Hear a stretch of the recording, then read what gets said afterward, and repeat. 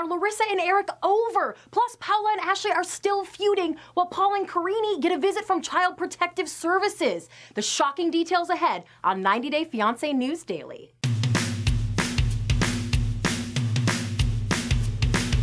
Happy Monday, I'm Christy, taking a short break from my social media super sleuthing to tell you what I found. Here's who was dropping clues about their real reality TV lives over the weekend.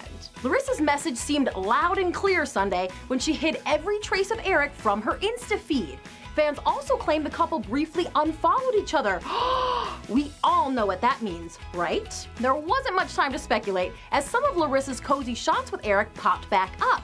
But most of Larissa's feed has disappeared, including every post since before she met Eric. It's possible that after last week's admission she's being treated for depression and anxiety, Larissa just wanted a fresh start online.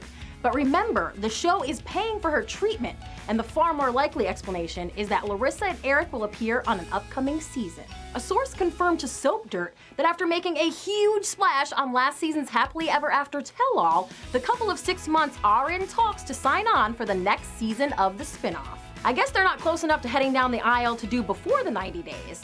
When asked about all of this, Larissa gave the obligatory denial but added, never say never. That's just how I picture she would say it, but in reality TV terms, that means it's happening tomorrow. I'll keep you posted.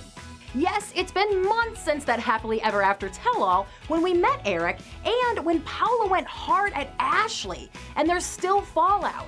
Paola's words seemed a little harsh as Ashley sat crying over she and Jay's demise, but the sassy Brazilian mama defended herself, declaring that the producers just always make her look bad.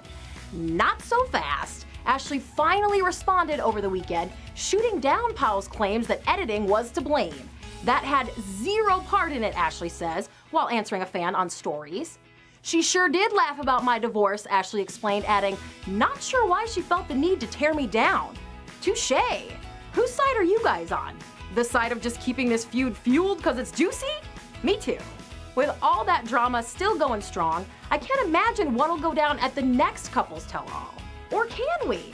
Today there were tons of alleged leaks released about the upcoming The Other Way tell-all, all those reports are unconfirmed, but when combined with court documents that just surfaced, it looks like something sad is definitely going down with Paul and Karine. Soap Dirt obtained these documents from Child Protective Services in Louisville, where the couple now lives with their infant son Pierre. Paul and Karine were investigated for suspected child abuse or neglect after fans of the show allegedly bombarded local police with concerned calls on July 25th. The alleged evidence was a social media video showing a distraught Karine trying to pack for the tell-all. She and Paul's demeanor in the video, the condition of their home, and another alleged video of baby Pierre touching hair extensions were reportedly among fans' concerns. The result? The allegations were found to be unsubstantiated, as CPS cleared Paul and Karine of any wrongdoing. But Karine was reportedly still so distraught when the family arrived in NYC to do the tell-all that Soap Dirt says she wasn't allowed to film. Their source claims TLC had a psychiatrist on set who Karine met with to discuss her postpartum mental health. Karine allegedly did try to force her way on air at one point and was held back by producers. Dang, if that's true, the Other Way Tell All is shaping up to be the most explosive ever.